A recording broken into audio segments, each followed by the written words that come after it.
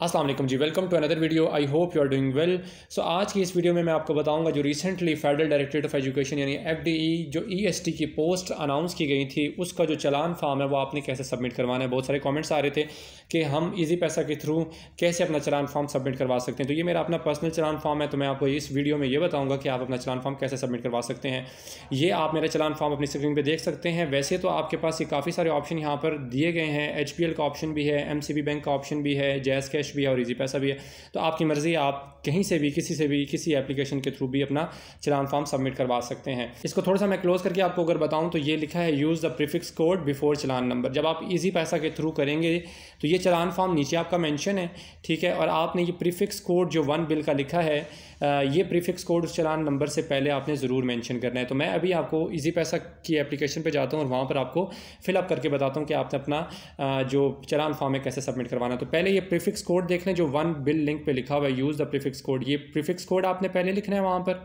ठीक है? And then ये नीचे चलान फॉर्म आपके पास, चलान नंबर सॉरी लिखा हुआ है nine six five nine double five zero five तो उसके बाद आपने ये मैंशन करना है। तो मैं यहाँ से भी पुटअप करता हूँ वहाँ पर ओके जी, जैसे ही आप अपने इजी पैसा की एप्लीकेशन को ओपन करेंगे तो ओपन करने के बाद यहाँ थोड़ा सा नीचे आए और यहाँ पर ये सी आल का जो ऑप्शन है, इसके ऊपर आप क्लिक करेंगे और क्लिक करने के बाद इसको थोड़ा सा स्क्रॉल डाउन करें और स्क्रॉल डाउन करने के बाद यहाँ पर आपको नीचे कहीं पर कुछ इसी पैसे की एप्लीकेशंस में ऊपर भी कहीं लिखा होता है वन बिल लिंक और कुछ पे नहीं होता यहाँ पे तो अदर्स के ऑप्शन पे चले जाएँ। और जैसे ही आप अदर्स के ऑप्शन पे जाएँगे तो ये टॉप पर आपके पास वन बिल क्रेडिट कार्ड है एक और एक है वन बिल वॉइस वॉचर तो आपने वन बिल वॉइस वॉचर पे क्लिक करना तो जैसे यहाँ पर क्लिक करेंगे तो उसके बाद यहाँ पर हम अपना जो कंज्यूमर नंबर है, यानी कि आपकी जो चलान फॉर्म के ऊपर जो आपका वन बिल का एक, कह लें कि सिक्स डिजिट का जो प्रीफिक्स कोड होता है, वो लिखेंगे। उसको लिखने के बाद चलान नंबर लिखेंगे हम। सो आप ये देख सकते हैं, ये मैंने आप वन बिल लिंक की जो आपका जो प्रीफिक्स कोड दिया था, वो मैंने यहाँ पर मेंशन कर दिया। अगर आप ये नीचे देखें तो यहाँ पर भी ये मेंशन है कि please ensure six digit prefix is added before your challan या इनवॉइस नंबर जो भी है। ठीक है तो मैंने पहले अपना जो वन बिल का जो आपको प्रीफिक्स कोड जिसे कह सकते हैं, वो दिया हुआ था, वो मैंने लिख दिया। अब इसके लिखने के बाद मैं यहाँ पर अपना चलान फॉर्म नंबर लिखूँगा।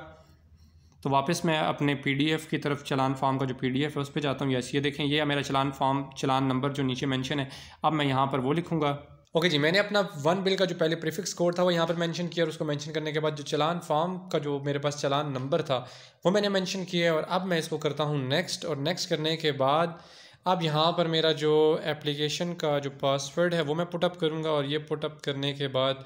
अब देखते हैं आपके पास लोडिंग प्लीज़ वेट ओके ये लोड हो रहा है यस ये लोड होने के बाद देखिए, यहाँ पर अब आपके पास ये ऑप्शन आगे पे, क्योंकि इसका जो 200 का चलान फार्म है तो अब मैं ये 200 ये नीचे आप सारी ये देख सकते हैं, इसमें जो डिटेल्स हैं वो मेंशन है। ठीक है कंज्यूमर नेम अब्दुल मोहित मीर मेरा नाम है, और अकॉर्डिंग टू ये रेफरेंस नंबर भी आप देख सकते हैं, जिस पे मैंने अभी चलान फार्म का जो नंबर है, ये सारा वो है, ठीक है? आखिर वाले जो डिजिट्स हैं वो चलान फार्म के और जो शुरू वाले डिजिट्स हैं वो वन बिल के हैं, जो आपके चलान फार्म पे मेंशन है, ठीक है? ओके जी, अब मैं इस पे नाव पे क्लिक करूँगा और पे नाव पे क्लिक करने के बाद अब जो आपके पास देखिए लॉडिंग थोड़ा सा लेगा और लोडिंग करने के बाद यस ये अब आपको, ये मेरा वो जो मैंने बिल पे कर दिया, इसका आपने क्योंकि इस जब आप बैंक में बिल पे करेंगे तो आपको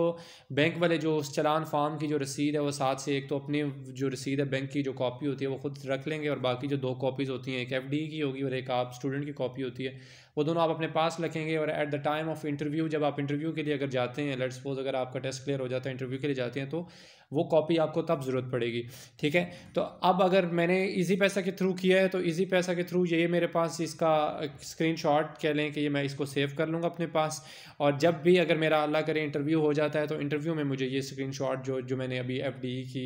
जो सबमिशन की है चलान फॉर्म तो ये मुझे वहाँ पर काम आएगा। तो, तो अब आपने इस बिल को जो है यहाँ पर अपने पास सेव रख लेना है और सेव रखने के बाद में भी हो सकता है आपको मैसेज भी आ जाए, जो आपने नंबर वहाँ पर पुटअप किया होता है अपने ऑनलाइन एप्लीकेशन फॉर्म में, उस पर आपको एफ़ की तरफ़ से मैसेज भी आ जाता है कि आपका बिल जो है वो पे हो गया है, ठीक है? तो सम टाइम मैसेज बहुत लेट आता है सम टाइम एकदम से आ जाता है और सम टाइम आता ही कोई नहीं है मैसेज टेक्निकल इश्यूज़ की वजह से। सो आपने इस चीज़ की फ़िक्र नहीं करनी, आपका बिल जो है वो पे हो चुका है। और अगर मुझे मैसेज आ जाता है, वैसे तो मैंने भी थोड़ा इंतज़ार किया बट मुझे मैसेज नहीं आया। अगर मुझे मैसेज आ भी गया देन मैं अपने थंबनेल के ऊपर बाद में वो दोबारा से वो मैसेज का जो भी क्या लेंगे स्क्रीन है मैं वहाँ पर लगा दूँगा, ठीक है? और किसी किस्म का भी कोई क्वेश्चन हो you can ask in comment box section next video तक के लिए अपना बहुत सारा ख्याल रखिएगा। दुआओं में याद रखिएगा। अल्लाह हाफिज़।